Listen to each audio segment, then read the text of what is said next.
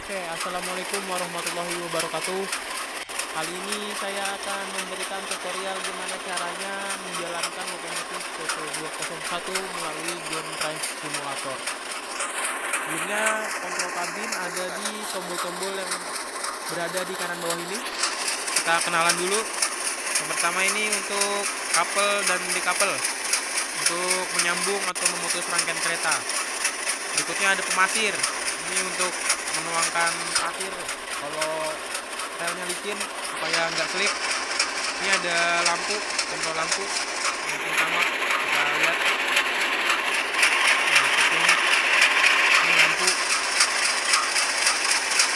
lampu dekat lampu jauh Balik lagi berikutnya ada horn nah berikutnya kita ke tuas-tuas dari paling kiri. Ini tuas di server. Forward untuk maju.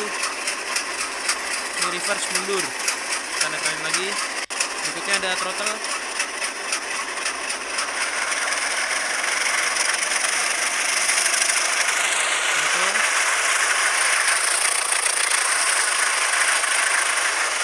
ini rem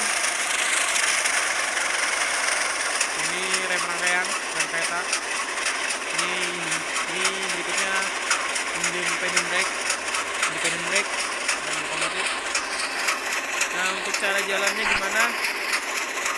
Yang pertama pastikan remnya terikat ya. Ini rem rangkaian kita lepas saja karena kita nggak bawa rangkaian berikutnya kita tuas reservoir untuk maju. Misalnya kita mau maju kita pilih forward. Maju. Berikutnya lepas rem lokomotif cuma jangan full dilepas sisakan sedikit.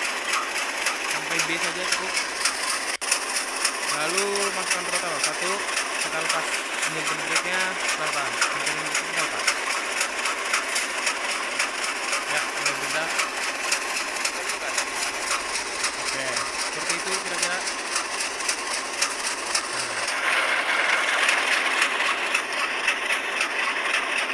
Nah, untuk remnya gimana? Kita pakai independent brake lagi.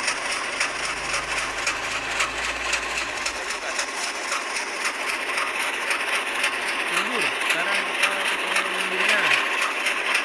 Mundur. Sepertinya kita mundurin jadi reverse. Seperti biasa pas rem lokomotif. Masukkan throttle. Mundur lepas dulu.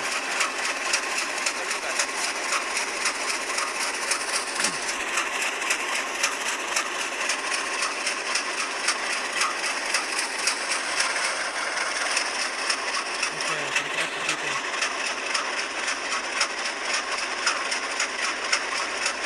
Oke. Seperti itu. Kita lihat jalannya. Maju. Sekali lagi. Kita pilih forward. Botol masukkan. Lepas rem. Pelan-pelan aja. Jangan bergerak.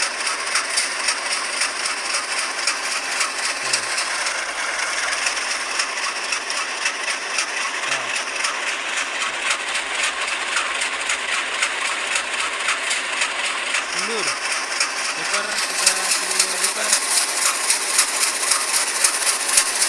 lever mundur remnya ke tempat nggak usah sampai full dilepas masukkan throttle baru lepas lagi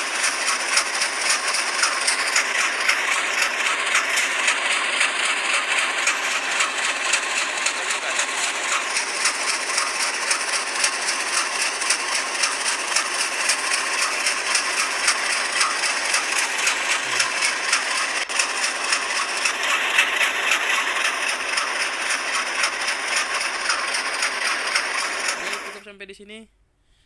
Jika ada yang ingin ditanyakan, bisa tulis di kolom komentar. Next, saya kasih tutorial menjalankan lokomotif CC203. Oke, sekian, terima kasih.